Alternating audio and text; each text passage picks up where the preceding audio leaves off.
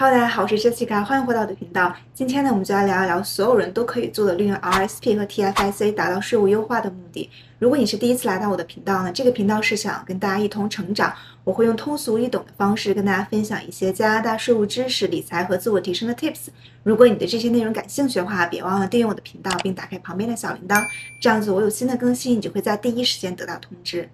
我们都听说过富人有很多的税务优化手段，比如开公司、建立信托等等。其实我们普通人也是可以利用 RSP 和 TFIC 达到税务优化的目的。我在税务视频的第三期和第四期跟大家详细讲解了 RSP 跟 TFIC。如果还没有看的小伙伴们，可以回看一下这两部影片，会更好的帮助你理解今天的视频内容。我在视频的右上角呢也会放链接，以方便大家观看。我知道很多人都在比较 RSP 跟 TFIC，其实两者并没有绝对的好坏。关键在于什么时候用 RSP，什么时候用 TFIC，这两个都是加拿大政府提供的 tax shelter，所以今天我会给大家提供一个最大化利用 RSP 跟 TFIC 的方法，让你口袋里面钱变得越来越多。当然了，有宝宝的父母和家庭呢，也可以利用 RESP，我在税务视频的第五期有讲过。首先呢，我们要了解 RSP 跟 TFIC 的属性。RSP 跟 TFIC 呢是两种注册型的账户，它们不是投资产品，就像是你在银行开户是一样的。在 RSP 账户里面的投资的话，本金和收益部分都是可以达到延迟缴税的目的，因为如果你有额度的话，那么你投入进去的本金，也就是你的 contribution，可以用来抵你的收入，然后本金所产生的收益呢，是等你在拿出来的时候才需要缴税，从而达到了延迟缴税的目的。在 TFIC 账户里面投资呢，本金部分也就是你的 contribution 是不能达到延迟缴税的目的，因为你的 contribution 部分是不能用来抵扣你的收入，但是收益的部分，也就是你投入进去的本金所产生的利息收入。分红、capital gain 等等投资收益都是免税的，也就是说可以达到免税的增长。在我们了解了 RSP 和 TFIC 的基本属性之后呢，我们就要对自己现在的收入情况、财务状况和投资目标有所了解，从而决定什么时候用 RSP，什么时候用 TFIC。要了解自己的收入情况呢，首先你要知道你现在到底挣多少钱，你的税前收入是多少。还有就是你未来几年的收入会有怎样的变化？如果你在接下来几年升值空间很大，那么很有可能你的收入会有一个比较大的提升。在了解自己的收入之后呢，你需要了解你的投资目标。你是想做长线投资还是短线投资？还有就是你什么时候会需要这些钱？在了解了上述情况之后呢，我们下面就来详细的讲一下什么时候用 RSP，什么时候用 TFIC。如果你是属于以下的这三种情况的话，可能选择 TFIC 会比较好一些。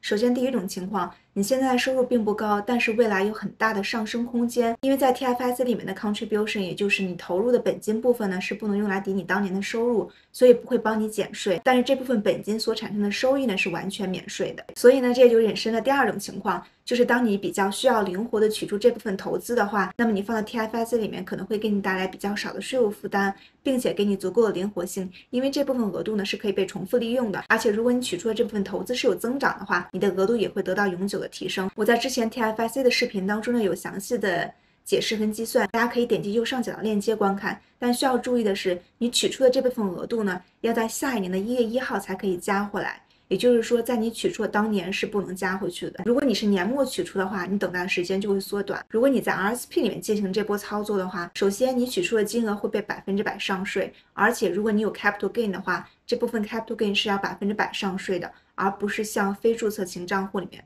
Capital gain 只有百分之五十需要上税，而且因为你之前已经用掉了这部分 RSP 的额度，当你取出来的时候，你用掉了这部分额度就会得到永久的损失，就不能重复利用。第三种情况就是 TFIC 里面的投资呢，是为了得到资产增值，或者投的是成长型的股票，或者投资产品。也就是说，以后你是为了获得 Capital gain 的情况下，那么可能放在 TFIC 里面会更省税一些，因为从 TFIC 里面取出来钱呢，是完全不需要交税的，也就说是完全免税的。但是需要注意的是，不要频繁操作，不然会被税局认为你是 day trading，要算的 business income，并且是百分之百上税。CRA 并没有明确的规定什么叫做 day trading，都是 case by case，主要是从你交易的频率、时长、目的以及你的专业程度，比如说你是不是交易员等等来决定。如果你是处于以下时期或者有以下需求的话，那么可能选择 RSP 会更好一些。RSP 并没有 TFIC 那么灵活，而且政府开设 RSP 呢，主要是为了退休后的生活做保障。首先，第一种情况，如果你现在处于收入的巅峰时期，首先恭喜你，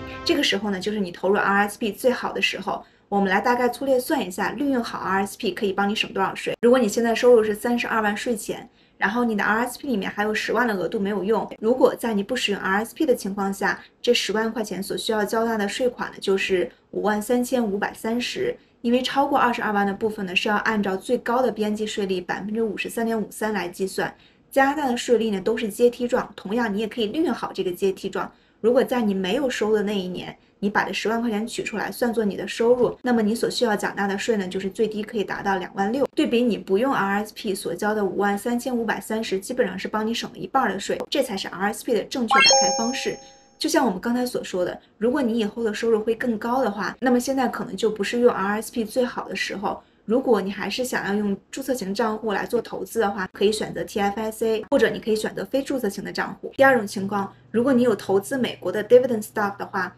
我们在讲 RSP 跟 TFIC 的视频当中也提到过，在 RSP 里面，如果你有收到 US dividends income 的话，由于美国跟加拿大的双边合约，美国税务局 RRS 是不会收百分之十五的 withholding tax。但是如果你是在 TFIC 账户里面有 US dividends income 的话，美国税局会直接从你的收益部分提走百分之十五的 withholding tax 预扣税，而且这部分税交了就是白交了，也不能抵你的个人税，只是加拿大税局不会再征税而已。所以你选择的投资类别也会影响你决定什么时候使用 RSP，什么时候使用 TFSA。如果你想要投资有股息的美股的话，可能选择 RSP 会更好一些。简单粗暴一点来讲，就是收入型的投资，第一选择 RSP。成长型投资，第一选择 TFSA。第三种情况，在你考虑风险比较大的投资的时候，选择 RSP 可能会更好一些。为什么呢？因为在有亏损的情况下，如果你想把这笔钱撤出来的时候，在 TFSA 里面 loss 的这部分额度呢，就会得到永久的损失。但是如果是在 RSP 里面投资的话，这部分的 loss 就不会损失掉。投资有风险，入市需谨慎。如果你想做地产投资，需要怎么选择呢？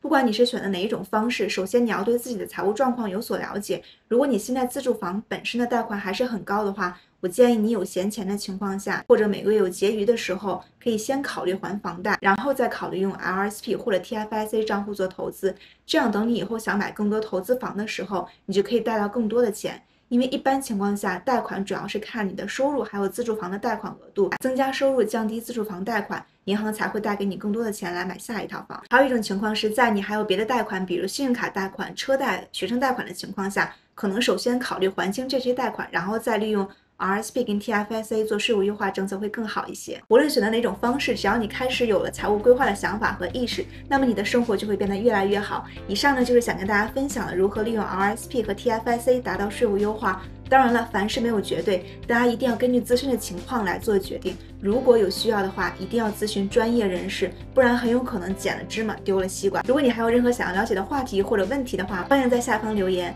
如果你觉得这期视频对你有所启发的话，请帮我点个赞，订阅我的频道，并打开旁边的小铃铛，这样子我有新的更新，你就会在第一时间得到通知。谢谢大家观看，我们下期再见，拜拜。